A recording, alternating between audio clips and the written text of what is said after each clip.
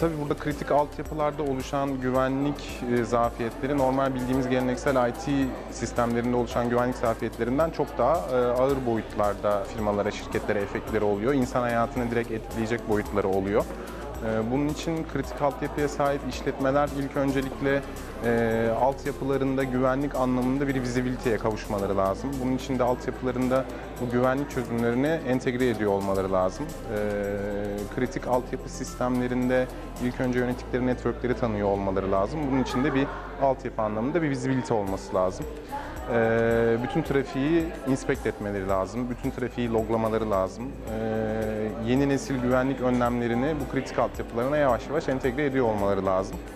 E, dolayısıyla e, kritik altyapı anlamında baktığımızda e, zorlu bir süreç. Çünkü normalde geleneksel IT sistemlerinde bu yeni nesil güvenlik altyapıları biraz daha e, kullanılabilir hale geldi ama insanların hala kafasında bu kritik altyapılar, endüstriyel kontrol sistemleri, SCADA sistemleri e, tamamen e, sürekli çalışmaya odaklı sistemler. Dolayısıyla burada oluşacak herhangi bir kesinti durumu firmalara ciddi anlamda e, para kaybına e, sebebiyet veriyor.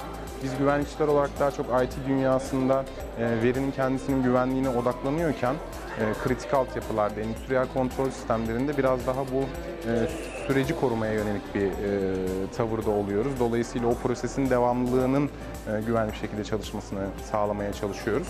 Tabii bunun da ilk adımlarından bir tanesi ilk öncelikle bu kritik altyapılarda e, bu vizibiliteyi sağlamak. Ondan sonra yeni nesil güvenlik önlemleriyle birlikte bu altyapıyı gelişkin ataklara karşı korumak.